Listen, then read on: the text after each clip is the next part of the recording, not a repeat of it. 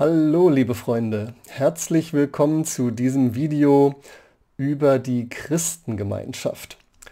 Wenn ich mit Leuten über die Christengemeinschaft rede, entsteht meistens erstmal eine Begriffsverwirrung, denn ich selber komme aus der sogenannten Gemeinschaftsbewegung und wir reden sehr oft von der Gemeinschaft der Christen und wir sind eine Christengemeinschaft, aber die kirchliche Organisation, die sich dezidiert Christengemeinschaft nennt, kommt aus einer ganz anderen Tradition und über die möchte ich heute mal mit euch ein bisschen nachdenken. Es ist, wie ich hier auch schon geschrieben habe, Kirche auf anthroposophisch. Die Christengemeinschaft ist also sozusagen der kirchliche Arm der Anthroposophie. Was die Anthroposophie ist, dazu hat dieses Video nicht genug Zeit und Raum, das näher zu erläutern. Es ist kurz gesagt die Weltanschauung Rudolf Steiners. Und Rudolf Steiner hat diese Weltanschauung, seine Anthroposophie, für den christlich-liturgischen Bereich sozusagen adaptiert und hat Anfang der 20er Jahre eine Kirche gegründet auf dem Boden einer anthroposophischen Weltanschauung, hat dafür Texte und ein Glaubensbekenntnis verfasst. Und diese Texte von Rudolf Steiner sind eine wesentliche Grundlage dieser Christengemeinschaft. Sie gelten als eine durch Rudolf Steiner vermittelte göttliche Offenbarung und dürfen auch bis heute nicht verändert werden. Da kommen wir nachher noch zu, was das für Konsequenzen hat. Die Christengemeinschaft versteht sich daher tatsächlich als eine neue Art von Kirche, als die Kirche, die heute eigentlich dran ist, müsste man sagen. Äh, sie sagen, sie sind die dritte Kirche, nachdem es am Anfang so die erste Kirche von Petrus gab, die katholische Kirche. Danach gab es die Kirche, die von Paulus herkam, die evangelische Kirche. Und die Christengemeinschaft versteht sich jetzt als die johannäische Kirche, die dritte Kirche, die eigentlich für dieses Zeitalter da ist und die anderen Kirchen im Grunde ja auf eine gewisse Art und Weise ablöst oder überbietet. Die Christengemeinschaft versteht sich dabei als eine Kirche mit völliger Lehrfreiheit, ohne Dogmen. Das ist was ganz Neues. Sowas gab es in der Kirchengeschichte noch kaum. Aber wenn man sich das näher anschaut, merkt man, wie, welche tragende Rolle die Anthroposophie von Rudolf Steiner in dieser Kirche besitzt. Deswegen hat die Christengemeinschaft auch vor allem dort Zulauf, wo es anthroposophische Einrichtungen gibt, vor allem Waldorfschulen. Dort äh, ist dann ein Klientel, das sozusagen vorgebildet ist, um die Begrifflichkeit der Christengemeinschaft zu verstehen und auf diese Art und Weise christlichen Glauben zu praktizieren. Ich selber habe seit vielen Jahren Kontakt hier zur Marburger Gemeinde der Christengemeinschaft, habe da viele Veranstaltungen schon besucht und mit meinen Studierenden von der Evangelischen Hochschule Tabor haben wir dort Gottesdienste besucht und auch mit dem Priester und der heutigen Priesterin Gespräche geführt. Von daher habe ich manches gelernt über die Christengemeinschaft, manches mir noch zusätzlich angelesen und möchte versuchen, das hier mal verständlich zu machen und zusammenzufassen, was über die Christengemeinschaft zu wissen ist und zu, was es dazu zu denken gibt. Wir beginnen mit der Geschichte der Christengemeinschaft, nachdem wir sie jetzt mal so grundsätzlich eingeordnet haben. Wie gesagt, Rudolf Steiner ist die entscheidende Figur. Er gründete 1913 die Anthroposophische Gesellschaft. Die hat ihr Zentrum in, in Basel äh, mit dem Goetheanum, also in der Nähe von Basel, in Dornach genauer gesagt, in der Schweiz. Steiner hat eine neue Weltanschauung entwickelt und hat durch diese Weltanschauung durch vielfältige Vortragsreisen begründet und verbreitet die Anthroposophie, also die Weisheitslehre vom Menschen, könnte man sagen. Das Ziel dieser Lehre ist es, dem Menschen zu helfen, durch Meditation, durch Bewusstwerdung eine höhere Bewusst Bewusstseinsebene zu erhalten, eine höhere Stufe der Erkenntnis, um dann mit dem Leben richtig umzugehen. In Waldorfschulen wird heute mehr oder weniger indirekt vielfach diese Lehre von Rudolf Steiner mit eingeflochten. Seit 1921 gab Steiner dann auch bewusst in Vorträgen einige Impulse, auf welche Art und Weise die Anthroposophie ein erneuertes Christentum schaffen könnte, ein Christentum anthroposophischer Prägung. Er fand einige Menschen, die daran sehr interessiert waren. Gerade nach dem Ersten Weltkrieg war man sehr erschüttert, enttäuscht von den Kirchen und gerade viele evangelische Pfarrer hatten das Vertrauen in ihre Kirche völlig verloren durch, dadurch, dass die Kirche so im Ersten Weltkrieg mitgemacht hat und die ganzen Zerstörungen, die dann dadurch resultiert waren. Und so fand Steiner also interessierte Zuhörer für eine neue Art von Christentum und man traf sich dann im September 1922 und hat am 16.09. in Dornach im Grunde diese Christengemeinschaft gegründet vor jetzt gerade gut 100 Jahren und hat die erste sogenannte Menschenweihehandlung vollzogen, so nennt sich der Gottesdienst in der Christengemeinschaft und hat die ersten Mitglieder zu Priestern geweiht, damit sie Gottesdienste halten können. Die Gründungsmitglieder waren tatsächlich zumeist evangelische Theologen. Es waren auch ein paar wenige Frauen auch schon von Anfang an dabei. Und man vereinbarte eine hierarchische Leitungsstruktur mit einem bischofsähnlichen Amt an der Spitze. Das nannte man dann Erzoberlenker. Der erste Erzoberlenker war dieser Mann hier, Friedrich Rittelmeier. Er war vorher evangelischer Pfarrer gewesen, ist dann aus der evangelischen Kirche ausgetreten, hat sein Pfarramt aufgegeben und wurde der erste Erzoberlenker der Christengemeinschaft. Er, wie ihr seht, er hat bis 1938 gelebt. Er stand dem NS-Staat relativ positiv gegenüber, äh, hat in dem ganzen Nationalismus mitgemacht, auch in der Judenfeindschaft. Das wird heute sehr kritisch gesehen. Sein Nachfolger wurde dann Emil Bock. Ähm, wie ihr seht, der hat dann bis 1959 gelebt. Er hat sehr viele Schriften publiziert, damit die Christengemeinschaft stark geprägt.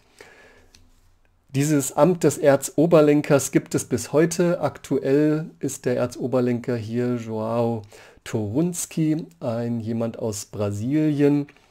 Und ja, die Christengemeinschaft ist also, wie ihr daran schon seht, eine weltweite Gemeinschaft inzwischen geworden, hier im deutschsprachigen Bereich gegründet, in der Schweiz und in Deutschland, aber mittlerweile auf allen Kontinenten vertreten, in über 30 Ländern. Trotzdem noch eine relativ kleine Gemeinschaft, also weltweit schätzt man ungefähr 35.000 Mitglieder. Davon in Deutschland so 10.000 bis 20.000. Also man könnte sagen, so die Hälfte aller Mitglieder sind hier so im deutschsprachigen Bereich. Die andere Hälfte verteilt sich auf den Rest der Welt. In Deutschland gibt es 140 Gemeinden und neben diesen 10.000 bis 20.000 erwachsenen Mitgliedern rechnet man mit ungefähr 50.000 Freunden, die so im Dunstkreis leben und Veranstaltungen der Christengemeinschaft besuchen. Das Interessante oder Seltsame an der Christengemeinschaft, was mich immer wieder verwirrt, ist, dass ich so denke vom, ja, von dem, wie sich die Christengemeinschaft gibt und darstellt, passt sie eigentlich sehr gut in die heutige Zeit. Wir werden das noch sehen. Sie hat Lehrfreiheit, man kann glauben, was man will, könnte man fast sagen. Man ist sehr synkretistisch offen, selbst die Hauptamtlichen.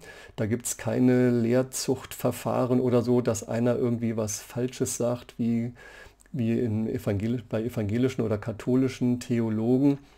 Man ist sehr offen auch äh, dafür, vielleicht auch sogar esoterische oder fernöstliches Gedankengut mit einzubauen in die eigene Theologie ähm, so wie viele Menschen das heute machen, ähm, dass sie sich so ein bisschen aus vielem einen eigenen Glauben zusammensuchen, sodass ich eigentlich denke, Die Christengemeinschaft müsste starken Zulauf haben, aber hat sie nicht. Die Mitgliederzahlen stagnieren wie bei allen anderen Kirchen auch. Auch der Christengemeinschaft gelingt es nicht, ähm, ihre Mitgliederzahlen signifikant zu erhöhen. Da können wir am Ende nochmal drüber nachdenken, woran das so liegt. In Deutschland ist man offiziell anerkannt als Körperschaft des öffentlichen Rechts. Man hätte dadurch auch die Möglichkeit, ähm, Kirchensteuern staatlich einziehen zu lassen, so wie das die großen Kirchen machen. Das macht die Christengemeinschaft aber nicht. Ähm, man finanziert sich rein aus Spenden der Mitglieder wie eine ganz normale Freikirche. Die Mitglieder spenden ihr Geld, damit der Priester das ein Gehalt bekommt. Mitglied wird man nicht durch die Taufe, sondern durch einen Entschluss als Erwachsener. Man entscheidet sich sozusagen, äh, Mitglied zu werden, wie bei Freikirchen. Die deutsche Zentrale der Christengemeinschaft ist in Berlin. Früher war sie in Stuttgart. Äh, die Gesamtkirche, die Weltkirche wird aber von den Niederlanden ausgeleitet und hat dort nach niederländischem Recht eine Struktur. Es gibt zwei Ausbildungsstätten in Deutschland, eine in Stuttgart, eine in Hamburg, wo man ein dreijähriges Studium absolvieren kann zum Priester oder zur Priesterin. Dann kommt noch eine Praxisphase und dann folgt die Priesterweihe und dann kann man eine Gemeinde übernehmen. Wie sieht so das Leben dann aus in so einer Gemeinde der Christengemeinschaft? Der Kultus. Wenn man eine Kirche der Christengemeinschaft besucht, dann staunt man erstmal oder ist irritiert. Die Kirchen sehen schon ein bisschen anders aus, als ähm, ja, man es sonst so gewohnt ist von evangelischen oder katholischen Kirchen. Ich habe hier ein Bild ähm, von einer Kirche, ich glaube in der Schweiz.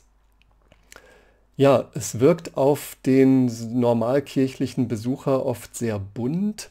Farben spielen eine große Rolle, die Formen sind auch anders. Es ist anthroposophisch geprägt von den Farben und Formen, von der Architektur. Mittelpunkt des kultischen Lebens ist der tägliche Gottesdienst. Die sogenannte Menschenweihehandlung, die normalerweise an jedem Tag gefeiert wird. Das ist so, ja, man kann sagen, vielleicht so eine Art bereinigter katholischer Messe in diesem Gottesdienst, würden wir Evangelischen sagen, wird eine Lesung gemacht von einer sogenannten Epistel. Das ist ein von Steiner selbst formulierter Text. Dann wird ein Bibeltext vorgelesen, der, wenn der Priester dazu fähig ist, selbst übersetzt worden ist aus dem griechischen Urtext. Und dann folgt der, diese Menschenweihehandlung, dieser Gottesdienst einer ganz minutiös festgelegten Liturgie. Die ist wortwörtlich festgelegt, die hat Rudolf Steiner so entwickelt und die muss überall genau so ablaufen. Mir hat mal ein Priester von der Christengemeinschaft gesagt, dass er im Priesterseminar sozusagen von dem Original von Steiner das Wort für Wort abgeschrieben hat und daran hält er sich bis heute, wenn er die Liturgie zelebriert. Es, dazu gehört eine kurze Predigt auch, die ist frei, die kann sozusagen jeder Priester dann selber gestalten, eine Auslegung des Bibeltextes. Mitte und Höhepunkt und liturgisch festgelegt ist dann aber sozusagen das Abendmahl, würden wir ähm, Evangelischen sagen das sehr katholisch anmutet im Sinne einer Opferung, einer Wandlung und dann der Kommunion, aber ohne ein Sündenbekenntnis, ohne Absolution. Das Thema Sünde kommt dann nicht drin vor in dieser Abendmahlsfeier. Und die Christengemeinschaft sagt, es, man kann diese Menschenweihehandlung nicht erklären. Du kannst dir auch nicht durchlesen, was da so gemacht wird und dann verstehen. Ähm, deswegen hat man den Text der Liturgie der Menschenweihehandlung auch über viele Jahrzehnte gar nicht veröffentlicht. Der war quasi geheim. Erst in den letzten Jahren ist der öffentlich geworden. Aber sie sagen, lest dir das am besten gar nicht durch, sondern komm zu einer Menschenweihehandlung. Nur im, in der Erfahrung merkst du, welche Kraft da wirklich dahinter ist. Feier diese Menschenweihehandlung mit. Erst da sozusagen entwickelt sich das Eigentliche. Es dreht sich um das Erlebnis. In der Liturgie erfährst du Gott sozusagen. Warum heißt das Ganze Menschenweihehandlung? Das soll deutlich machen, dass die Teilnehmenden durch die Feier sozusagen wahre Menschen werden. Der Mensch wird geweiht, er verbindet sich mit dem Göttlichen, man gelangt zu wahrem Menschentum, indem ich diese Menschenweihehandlungen mitfeiere, werde ich immer mehr der Mensch, der ich sein soll. Die Teilnahme ist immer ganz offen für jeden Erwachsenen ohne weitere Voraussetzungen. Jeder kann daran teilnehmen, auch Besucher können gerne mit dazukommen. Neben der Kommunion in der Menschenweihehandlung gibt es sechs weitere Sakramente. Die Taufe, die Konfirmation, die Trauung, die Priesterweihe, die Beichte und die Sterbeölung. Sieben Sakramente, wer sich auskennt in der Theologie, der weiß, dass das die Zahl der Sakramente auch in der katholischen Kirche ist. Woher kommt das? Rudolf Steiner kommt aus einem katholischen Hintergrund und das merkt man sehr stark auch bei der Entwicklung der Liturgie äh, und der Ausgestaltung der Christengemeinschaft. Obwohl die meisten Gründungsmitglieder evangelische Pfarrer waren, kriegt das Ganze eher so ein katholisches Gefärbe von der Liturgie her. Neben den sieben Sakramenten gibt es auch noch weitere kultische Handlungen. Eine spezielle Sonntagshandlung für Kinder, Tagesendfeiern, Bestattungen und so, die dann ja mit Sakramenten verbunden sind, aber nicht selber Sakramente sind. Zur Taufe vielleicht nochmal ganz besonders. Die Taufe wird nur an Kindern vollzogen, vom Säuglingsalter bis zur Konfirmation. Sie wird, sie hat, ja, da gibt es ein ganz eigenes Verständnis. Sie wird verstanden als ein Passageritus der Seele, die aus dem Himmel jetzt kommt, in einen Körper eingeht und die durch die Taufe jetzt zu ihrer irdischen Aufgabe geleitet wird. Die Taufe bei der Christengemeinschaft ist ja das für evangelische und katholische Christen schon sehr anders. Dem Täufling wird dabei zunächst mit Wasser ein Dreieck auf die Stirn gezeichnet, dann mit Salz ein Viereck aufs Kinn und dann mit Asche ein Kreuz auf die Brust. Damit sollen Leib, Seele und Geist der Beziehung zum Vater, Sohn und Geist einverleibt werden. Also ja, da, da, sehen wir schon, wir kommen jetzt hier in die theologischen Fragen rein, die sich dann auch liturgisch ähm, ausdrücken, die ganz anders sind als so in anderen christlichen Kirchen üblich. Gerade bei der Taufe gibt es da große Differenzen zu anderen Kirchen, weshalb die Taufe auch von den meisten christlichen Kirchen nicht anerkannt wird, da zum Beispiel auch die normal übliche Taufformel gar nicht verwendet wird. Also ich taufe dich auf den Namen des Vaters, des Sohnes und des Heiligen Geistes. Ich lese euch mal einen Text vor, der so am Anfang einer Tauffeier ähm, gelesen wird oder vorgetragen wird. Da merkt man schon so ein bisschen von einer ganz anderen oder ungewohnten Prägung der Christengemeinschaft. Da heißt es in diesem Text zur Taufe, zu euch Weltengeister wende sich mein Wollen, mein Fühlen und mein Denken. Durch die Kraft des alldurchdringenden Wassers, durch die Macht des allerhaltenden Salzes, durch das Gewicht der allerneuernden Asche, dass ich führe diese Seele in die Gemeinde des Christus Jesus. Das sagt also der Priester. Er fährt fort, meine liebe Taufgemeinde, diese Seele, die herabgesandt aus der Geist in die Erdengemeinschaft, wir sollen sie empfangen und tragen in die Gemeinde des Christus Jesus. Sie stammt dem Leibe nach aus göttlicher Weltenkraft Sie stammt der Seele nach aus göttlichem Wirkensworte. Sie soll der Geistessphäre leben aus göttlichem Geistesziel. Das war mal so ein bisschen ein Original-Wortlaut-Eindruck aus so einer Christengemeinschaftszeremonie. Die Priester tragen dabei liturgische Gewänder, die sehen auch ein bisschen eigenartig aus. Also manches ist einfach anders und erstmal sehr gewöhnungsbedürftig. Die Frage ist ja nur, muss anders gleich schlecht sein oder ähm, muss das abgelehnt werden oder kann das anerkannt werden? Dazu muss man natürlich inhaltlich betrachten, was äh, dazu zu sagen ist. Das wollen wir jetzt im nächsten Schritt tun. Nur eine kurze Sache noch. Es gibt von Anfang an auch die Frauenordination ähm, bei der Christengemeinschaft. Das war keine Frage schon vor 100 Jahren.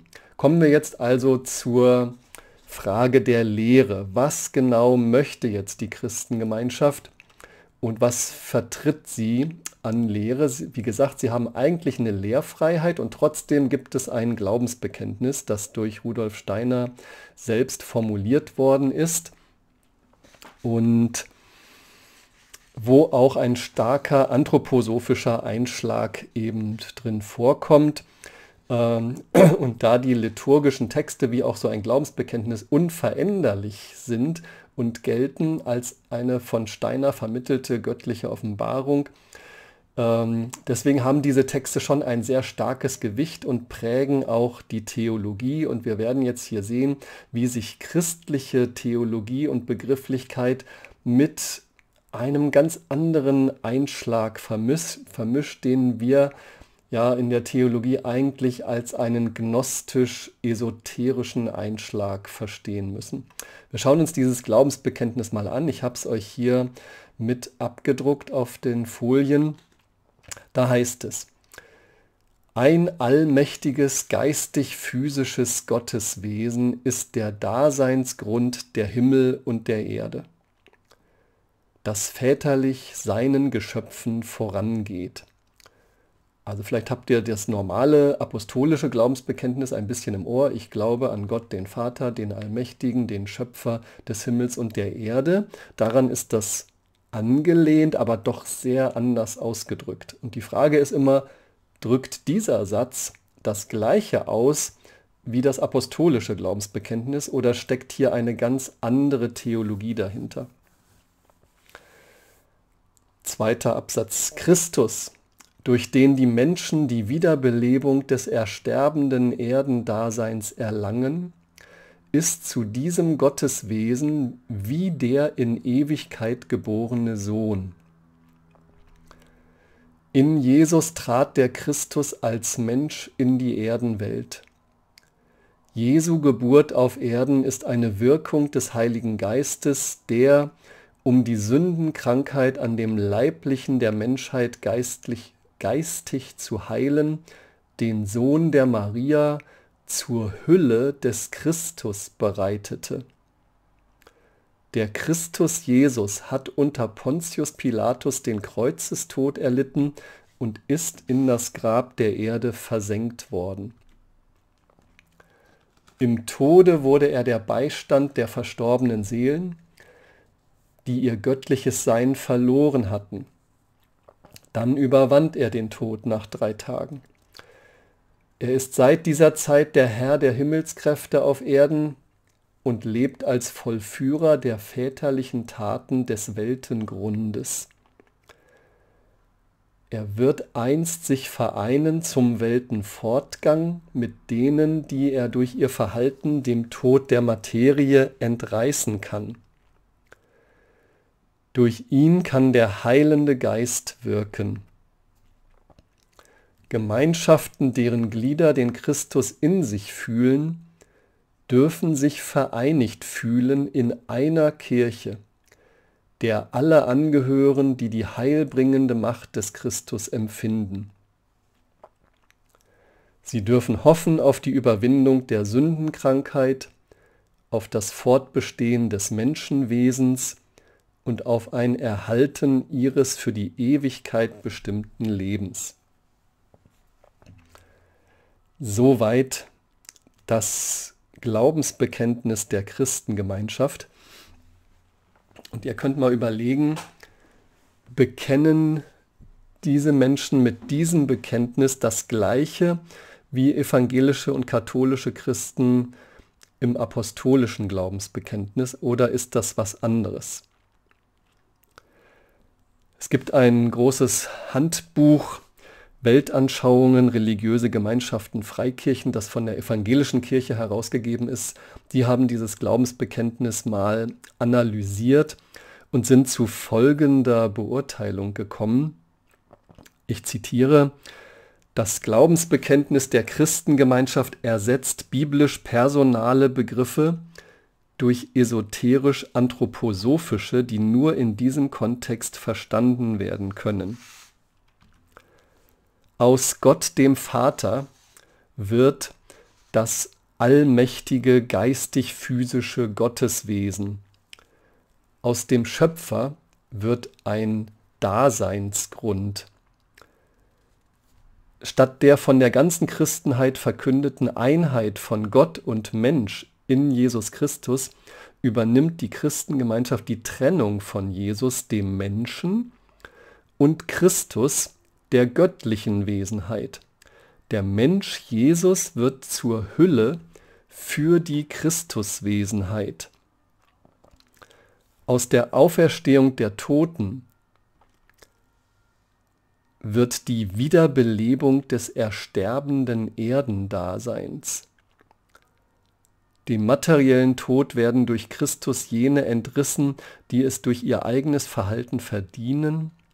Aus dem Heiligen Geist wird der heilende Geist und die Auferstehung der Toten wird zum Erhalten ihres für die Ewigkeit bestimmten Lebens also aus biblisch-personalen Aussagen der Beziehung Gottes zu uns Menschen werden esoterisch-spekulative Formeln, die nur in anthroposophischem Kontext verstanden werden können. Das ist sozusagen die These und die Beurteilung der Theologie der Christengemeinschaft aus evangelischer Sicht. Auch die katholische Sicht ist auch genau die gleiche. Man sagt, die Christengemeinschaft hat eigentlich eine gnostische Theologie. Die Gnosis, da gibt es ein eigenes Video von mir dazu, könnt ihr euch anschauen. Die Gnosis war eine Weltanschauung, die so im zweiten, dritten Jahrhundert die Christen in großen Aufruhr versetzt hat und mit der man sich stark auseinandergesetzt hat und sie schlussendlich abgelehnt hat. Und ja, solch eine gnostische Welt- und Menschensicht taucht aber immer wieder auf und die Christengemeinschaft ist vielleicht eine der stärksten Kirchen, die solche gnostischen Gedanken heute wieder verbreiten. Äh, ich habe nochmal einen Text mitgebracht von der Christengemeinschaft selber, so aus dem Internet gefunden, wo sie so darstellen, was sie eigentlich glauben. Und da fassen sie das so zusammen. Der Mensch ist seinem Wesen und seiner Bestimmung nach Bürger zweier Welten einer übersinnlich geistigen und der irdisch natürlichen. Während des Lebens auf Erden kann er seinen himmlischen Ursprung vergessen und dadurch zum Glied nur der vergänglichen Welt werden. Das ist typisch gnostisch. Durch Religion verbindet sich der Mensch im Leben zwischen Geburt und Tod in aktiver Weise wieder mit der Welt seines Ursprungs. Christus ist der Schöpfer der Welt, der Sichtbaren wie der Unsichtbaren. Er ist in Jesus von Nazareth Mensch geworden und hat durch sein Leben, durch Passion, Tod und Auferstehung die Menschheit vom Untergang errettet, sozusagen erlöst. Seither kann der einzelne bewusst Christus suchende Mensch die Verbindung mit ihm finden. In ihr erfährt er ein neues Leben und sein Fortbestehen. Geburt und Tod sind Tore, durch die das Menschenwesen in das Leben herein und aus ihm herausgeführt wird. Deshalb muss heute neben eine neue Lehre von der Unsterblichkeit des Menschen eine von seiner Ungeborenheit Präexistenz, also dass wir schon vor dem Tod da waren als Geister, das muss neu entwickelt werden. Denn das gibt es in der Bibel nicht. Durch die Eltern entsteht der Leib des Menschen. Seele und Geist jedoch entstammen höheren Daseinsbereichen. In seinem Schicksal offenbart sich, was früher bereits vorbereitet wurde und später durch ihn weitergebildet werden soll. Auf Erden soll er durch Christus zur Freiheit finden und so auch zur Kraft unegoistischer Liebe. Das ist das Ziel, Freiheit und Liebe. Ja, wie sehen wir das? Vieles hört sich so an, als ob wir das doch mit unserem Glauben sehr parallel setzen könnten und glaubt, glauben die nicht das Gleiche, die Mitglieder der Christengemeinschaft. Die evangelische Kirche hat seit dem Zweiten Weltkrieg viele Gespräche geführt mit der Christengemeinschaft. Es gab Konsultationen, Austausch, Dialog, viel wurde hin und her geschrieben und man hat am Ende doch festgestellt, das ist irgendwie doch ein anderer Glaube. Denn neben die Bibel tritt hier eine andere Weltanschauung, die Lehre von Rudolf Steiner als Offenbarungsquelle. Die wird genauso hoch gesehen wie die biblischen Aussagen, werden die Schriften von Steiner gesehen und einzelne Aussagen, so dass ja man sagen muss, ähm, das ist eine, ein Glaube, der eine Zusatzquelle hat, die den Glauben verändert. Ähnlich wie manche Gruppierungen, die tatsächlich ein zweites Buch noch haben, wie die Mormonen vielleicht, die äh, durch das Buch Mormon auf einmal ganz andere Gedanken mit einbauen in ihren Glauben.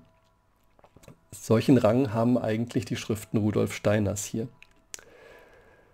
Man merkt, äh, das hat Auswirkungen auf die ganze Theologie. Anstelle des Schöpfungsglaubens tritt hier die Lehre, dass aus dem Stoff, dass diese stoffliche Welt sich entwickelt hat. Also am Anfang war alles irgendwie Geist und dann ist die Materie entstanden. Ähm, und am Ende wird alles wieder Geist werden. Das ist ein typisch gnostisches Schema. Geist und Stoff sind so die entscheidenden Dimensionen. Das ist das eigentliche Weltendrama, wie wir aus Materie wieder zum Geistigen durchdringen können. Das führt dann auch dazu, dass äh, manche Sonderlehren mit eingebaut werden, die wir sonst nur so aus fernöstlichen Religionen kennen. Ähm, die Anthroposophie und auch hier die Christengemeinschaft ist sehr offen für einen Reinkarnationsgedanken, dass man auch wiedergeboren werden kann in einem neuen Leib. Der Karma-Gedanke, dass man sozusagen seine guten Taten und schlechten Taten mit sich trägt und aufarbeitet. Das findet sich so in der Bibel nicht. Die Geschichte, die wir von der Bibel her kennen als einen dramatischen Dialog zwischen Schöpfer und Geschöpfen und wie kommt Gott mit seiner Schöpfung ans Ziel, ist hier eher ein langsamer Prozess, um aus dieser Materie Verfallenheit zum rein geistigen wieder durchzudringen. Und gerade was wir Evangelischen auch sehr stark entdeckt haben, dass es dass die Kerngeschichte eine Geschichte von Schuld und Versöhnung ist, das wird hier sehr sozusagen in den Hintergrund gedrängt. Eigentlich geht es um Materie und Geist. Und vor allem wird es deutlich in der Stellung von Jesus Christus. Er wird sehr stark thematisiert, er kommt ständig vor. Christus hat eine zentrale Stellung, aber für die Christengemeinschaft ist er eine Art hoher Geist, der sich letztlich auch nur für drei Jahre mit dem Jesus von Nazareth verbunden hat, mit diesem Leibmenschen sozusagen. Ähm, er hat sich in ihn inkarniert, ist am Kreuz gestorben und hat dort durch den to Kreuzestod die Menschheit durchgeistigt, hat die Aura der Erde verändert und dadurch ermöglicht, dass die Menschheit jetzt wieder die Kurve zu einem geistigen Zustand findet und auch jeder einzelne Mensch seinen eigenen Geistesfunken sozusagen wieder erwecken kann und seine eigentliche Bestimmung erfährt. Letztlich kommt darin zum Ausdruck, dass die Schriften Rudolf Steiners und seine Ansichten einen massiven Einfluss auf die Theologie haben. Und bei aller Rede, dass man in der Christengemeinschaft glauben kann, was man möchte und dass Lehrfreiheit besteht und kein Dogmenzwang, ist es doch ganz eindeutig, dass Rudolf Steiners Weltsicht eine Interpretationsbrille ist, die die ganze Theologie von der Christengemeinschaft prägt. Und damit wird Rudolf Steiners Rolle massiv überhöht. Er wird sozusagen ein, eine Art endzeitlicher Prophet, der uns sagt, wie man richtig glauben soll. Ähm, diese Rolle kann kein Mensch für sich beanspruchen. Wir kommen noch zu ein paar weiteren Aspekten, um so ein rundes Bild von der Christengemeinschaft zu verstehen. Die Christengemeinschaft ist nicht nur eine kirchliche Bewegung, die Gottesdienste feiert, ähm, sondern sie engagiert sich auch sozial. Seit dem Zweiten Weltkrieg hat man Altenheime aufgebaut, Pflegeheime. Seit 1960 gibt es einen Verband der Sozialwerke der Christengemeinschaft. Dort wird solche Alten- und Pflegearbeit gemacht, Hospizarbeit teilweise. Und außerdem engagiert man sich in der Durchführung von Kinderfreizeiten, Jugendfreizeiten, Fortbildungsreisen, Mitarbeiterschulungen, also ein vielfältiges Angebot für die Mitglieder der eigenen Gemeinde, aber auch darüber hinaus. Also man kann sagen, diakonisch sind sie sehr aktiv. Ähm, jetzt direkt missionarisch sind sie nicht aktiv. Es wird nicht aktiv missioniert, es wird nicht ähm, darauf geworben, Mitglied bei der Christengemeinschaft zu werden. Ähm, also keine Straßeneinsätze oder irgendwas in dieser Richtung. Die spannendste Frage ist, wie die kirchlichen Beziehungen aussehen. Und das ist jetzt wirklich etwas fast Tragisches, kann man sagen, weil ähm, ja, es gibt manche kirchlichen Gemeinschaften, die äh, haben bestimmte Sonderlehren und die wollen auch gar nichts mit anderen Kirchen zu tun haben. Hier ist es anders. Die Christengemeinschaft möchte sehr gerne mit anderen Kirchen zusammenarbeiten. Sie fühlen sich als ein Teil der Weltchristenheit, das ist auch da im Glaubensbekenntnis und so auch schon so formuliert. Es gibt so die eine Weltkirche, die unsichtbare Kirche, zu der alle gehören, die sozusagen eine innere Verbindung zu Christus haben. Und Sie erkennen deswegen auch andere Kirchen gerne an, sprechen denen den Glauben nicht ab, sie verwerfen sie nicht, sie polemisieren gegen niemanden, sie haben nichts gegen irgendwen. Äh, sie bejahen auch die Basisformel des Ökumenischen Rats der Kirchen und ähm, sie erkennen die Taufen von anderen Kirchen an und sie wären gerne ein Teil dieser Weltchristenheit. Und gleichzeitig ist es so, dass sie kein Teil dieser Weltchristenheit sind, weil sie es nicht dürfen, weil die anderen Kirchen alle sagen, wir lassen euch keinen Teil dieser Weltkirche sein. Sie werden von fast keiner anderen Kirche auf der Welt als christliche Kirche anerkannt, weil alle anderen Kirchen sagen, hier liegt ein völlig anderes Glaubensverständnis vor und in vielen theologischen Fragen sind wir nicht einer Meinung und vor allem auch das Taufverständnis unterscheidet sich grundsätzlich von dem, was andere Kirchen sagen und denken. So ist es also bis heute so, dass die Christengemeinschaft kein Mitglied ist in der Ökumene, nicht zum Ökumenischen Rat der Kirchen gehört und auch kein Mitglied in der Arbeitsgemeinschaft christlicher Kirchen ist. Es gibt ein paar lokale ACK-Gruppen, die gestehen der örtlichen Christengemeinschaft zumindest einen Beobachterstatus zu, aber soweit ich weiß, ist sie nirgends oder nur an ein, zwei Orten in Deutschland äh, Mitglied in einer lokalen ACK und in der deutschlandweiten ACK ist sie kein Mitglied. Die evangelische Kirche in Deutschland erkennt die Taufe der Christengemeinschaft nicht an. Also es ist ein sehr unausgeglichenes Verhältnis sie würden gerne mit den anderen zusammenarbeiten, aber die anderen Kirchen lassen sie nicht sozusagen. Und die Frage ist, warum ist das so? Ist das richtig, dieser Umgang mit der Christengemeinschaft? Ich selber äh, bin hier in Marburg in der lokalen ACK auch im Vorsitz und wir haben viele Jahre darum gerungen. Es gab einen Mitgliedschaftsantrag der örtlichen Christengemeinschaft hier in Marburg. Sie hätten gerne die Mitgliedschaft in unserer ACK bekommen. Wir haben uns jahrelang damit beschäftigt und sind dann auch zu dem Schluss gekommen, dass sie nicht aufgenommen werden als Mitglied in unserer ACK und dass auch die Feier gemeinsamer Gottesdienste eigentlich nicht möglich ist. Woran liegt das nochmal auf den Punkt gebracht? Es liegt nicht daran, dass irgendetwas an der Organisation zu kritisieren wäre, an der Struktur oder sogar an den Menschen oder so. Nein, es geht nicht um soziologische Fragen, um menschliche Fragen, um soziale Fragen, wie es manchmal bei anderen Sondergemeinschaften ist, dass man da kritisiert, dass Mitglieder zu sehr bedrängt oder ausgenommen werden oder so. Nein, es wird anerkannt, die Gemeinden der Christengemeinschaft Daran gibt es erstmal gar nichts zu kritisieren. Es gibt transparente Strukturen. Äh, die Mitglieder, die Menschen, die man kennt, denen man begegnet, sie sind authentisch, liebevoll, tolerant, reflektiert. Also im menschlichen Umgang ist da gar nichts zu kritisieren. Es geht rein allein um die Theologie. Die Theologie der Christengemeinschaft ist durch den überragenden Einfluss der Steinerschen Anthroposophie sehr synkretistisch geprägt. Also es ist ein Mischglaube.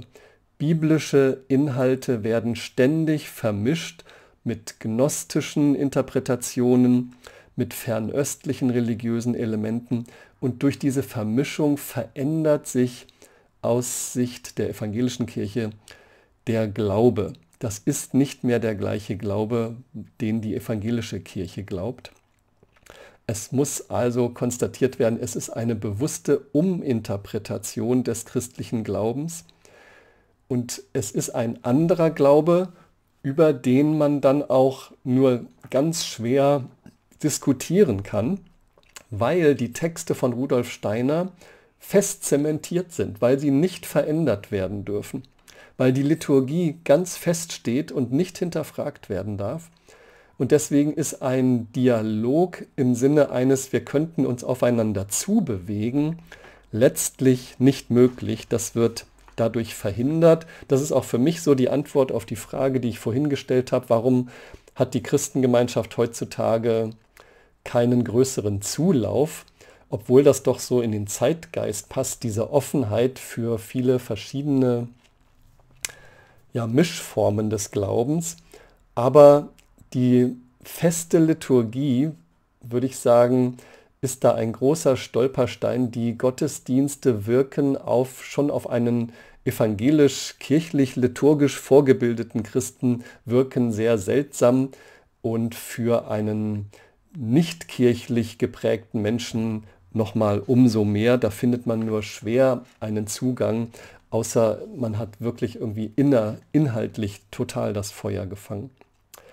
Von daher, ja, muss ich so als Fazit sagen, man kann als evangelischer Christ, als Christin zwar gerne im Rahmen von kulturellen Vorträgen, von künstlerischen Angeboten an Veranstaltungen der Christengemeinschaft teilnehmen. Da gibt es super Angebote, da können wir sehr viel lernen. Die Christengemeinschaft hat da wirklich einen Fund, was es kaum so in anderen christlichen Kirchen gibt. Gerade der Sinn für das Ästhetische, für das Künstlerische, für das Philosophische.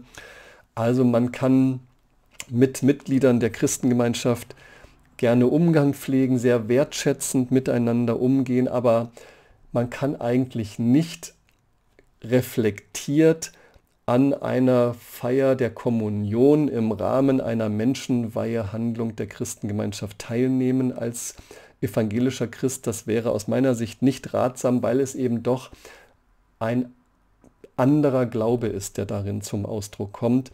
Von daher ist es auch letztlich nicht möglich, so ein gemeinsames christliches Zeugnis äh, darzustellen im Sinne eines ökumenischen Gottesdienstes, den man vielleicht gemeinsam feiert mit einer Christengemeinschaft. Das ja, passiert nicht und das hat seine Gründe, warum das nicht passiert.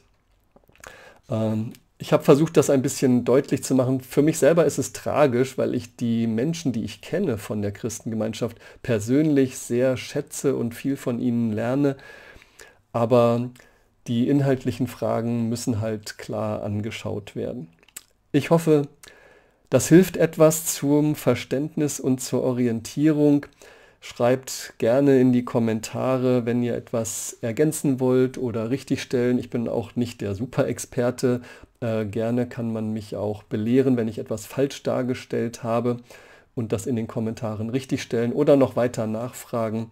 Ich hoffe, es hat euch ein bisschen geholfen, jetzt ein etwas klareres Bild von der Christengemeinschaft zu bekommen.